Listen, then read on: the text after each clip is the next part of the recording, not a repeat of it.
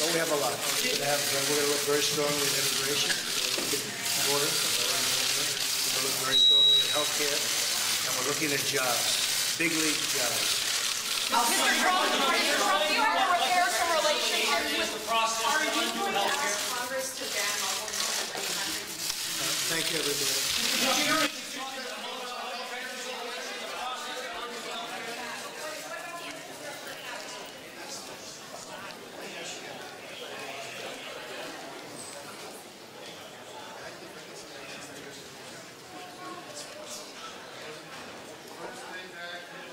back to talk to us.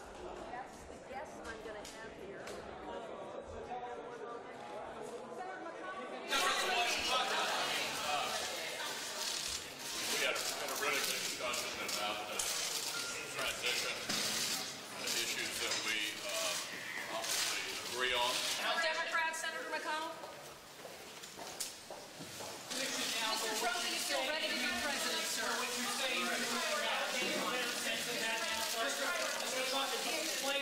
lot of priorities, a lot of really great priorities. People will be very, very happy. What are the top three?